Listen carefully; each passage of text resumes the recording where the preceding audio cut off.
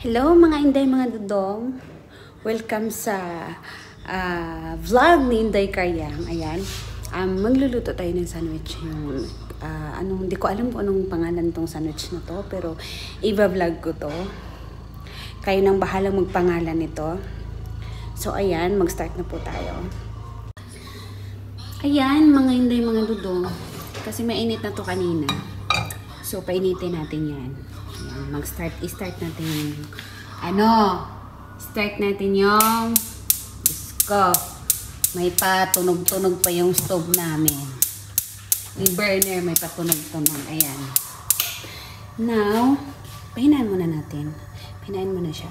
Ngayon, ang ang gagawin lang natin is ano, simple lang naman talaga siya. Pwede siyang i-apply sa halimbawa pag nagmamadali. Ah, I mean, ayaw mo kumain ng marami or sa mga bata. So, isang ganyan lang po na cheese, tapos isang ganito na sandwich, budget talaga no. Tapos eto, dalawang egg. So mag, mag- maganda talaga to siya pang ano, pang breakfast. Ayan. So dito, nag-ano na, kanina pa to eh, tapos nag-melt na, mainit na to siya. Painitin mo natin ng konti. Ayan. So, mainit na siya. Ilagay mo yung... Kasi dalawang, dalawang itlog dapat to. Tapos na, ayan, naka-ready na. Binati ko na to. Binati, nagabati na. Nakabati na yan siya. So, ilagay natin yan dyan. Ilagay natin yan dyan. Dyan siya. Ngayon, ang gagawin natin is, itong ganyan siya. Ayan. Tapos, itong isa. Okay. Halimbawa, pag gusto mo ng dalawa, dalawahin mo. Yan. Dalawang ganito. Tapos pag ano na siya, pag medyo sa tingin mo ready na yung egg, pahinaan mo lang yung ano, pahinaan mo lang yung apoy para hindi siya sunog. Tsaka, ano lang, ganyan, hawak mag-vlog mo. Hawak-hawak mo yung, ano, yung camera. Tapos ngayon, balik rin natin. Pa! Yan. Tapos iangat mo lang yung mga, ano, iangat mo yung mga natira dito sa kabila. Ay, nako. Sige. Iangat mo yan. Hindi. Iangat. Iangat. Ayan. Angat na. O, diba? Sa kabila, iangat pa rin. Iangat ang sa kabila. Mm. Tapos, lagay mo yung cheese. Ayan. Etong cheese ilagay ang kalahati. Magkabila. Dito na part. Ay, naghuhugas ako ng kamay, ha? Naghuhugas ako. Bago ako nag-start, naghuhugas ako ng kamay. Ayan. Diyan. So, kailangan mo lang natin, kailangan lang natin hintayin na mag, uh, medyo brown-brown yung kabila, mag-crispy siya. Crispy konti. Ayan. Tapos, balik ta rin.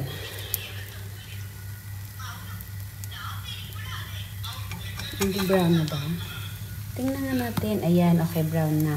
So, pag samahin yan silang dalawa. Yan, pag samahin. Mm. Mm, diba?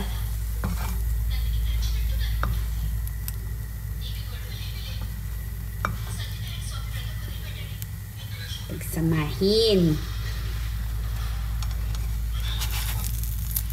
Baliktarin. Tapos pag ayaw mo dito sa mga na naiwan-iwan, pwede mo yan siyang tanggalin. Slice mo lang. Kailangan siyang baliktarin para yung cheese doon sa kabila makatingi, makatikim ng init. Oo. Kasi pag nakatikim na ng init, masarap na. Masarap, sarap ng kainin. Ganon. May kasama talaga. so, ayan. Dito tayo sa, ano, dito tayo sa ah, pangalawang beses na gagawa. So, dagdag ng isang sandwich. Tapos, isang ganito na cheese. Tapos, yung egg na yan, huwag kalimutan maglagay ng asin. Konting asin lang naman. Tapos, kasi ito natapos na siya. Ayan. Kailangan ko pa yan gupitin. Kailangan gupitin. So, dito guys, may nakaready na tayong ano. Mga hindi, mga jojong. May nakaready na tayo ng butter.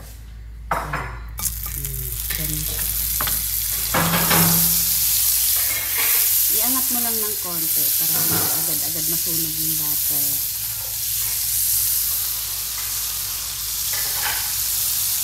Ayan.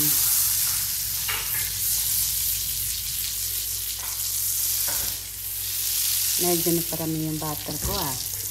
Pero okay lang yan.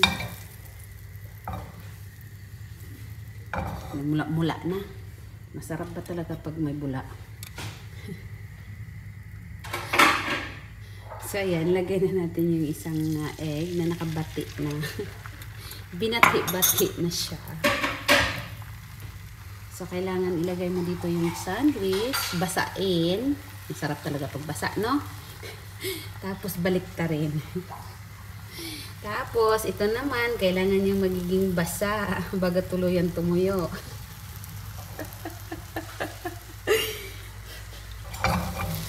Yan. Giling-giling konti, giling-giling. Layo natin sa init, medyo lumobo yung egg. Huwag palubuhin ang itlog. Mahirap na pag ang itlog lumobo, hindi na masarap. Ayan. Huwag mo muna nating ilagay sa apoy. Kasi yung itlog lumobo. Pastilan, dolor ang itlog lumobo. Hmm, balik ta rin. So, ganyan na. Tinan mo to yung kabila. Hindi, ang pangit talaga pag toyo, no? ang pangit talaga pag toyo. Kailangan talaga mamasa-masa.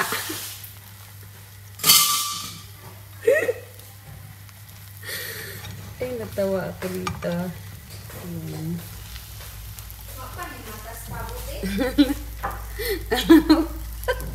Nag-vlog ako. Nagmata na. Nangayo nag-sandwich. Karon lang? Gani, oo. O di, gani na rin. Nangahatag na kong tambal. Ang sparkling.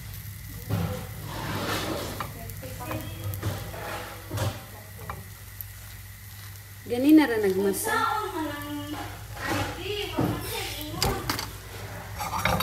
Ayan.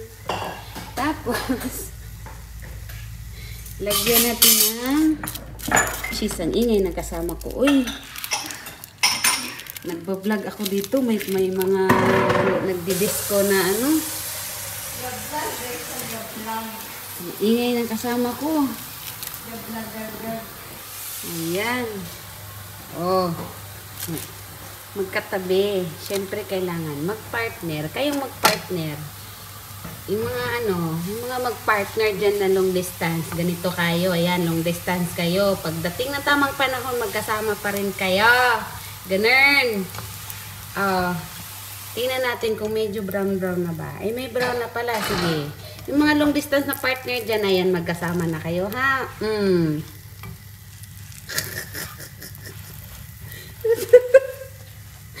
Natawa ko dito. Natatawa ko dito sa vlog na to. May kasamang ano. Ayan. Mainit-init na yan siya. Lumubo talaga ang itlog.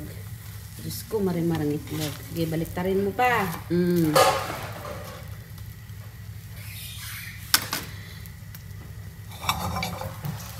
Ayan, ready na siya. So, kung ayaw mo yung mga may lumagpas-lagpas dyan sa mga gilid-gilid, tanggalin mo lang yan. Ayan. So, ayan, mga inday, mga dudong, ito na yung natapos natin um, sandwich. Di ko alam kung anong tawag dito. Basta may itlog siya, may cheese. Egg sandwich with cheese, ganun. Pero ganito yung klaseng pagka ano niya, pagka luto niya. Sa, tapos kurtihan mo lang para medyo presentable tingnan ka. may presentable pa. So, ayun. Um, thank you for watching. Bye-bye. Ready to serve na.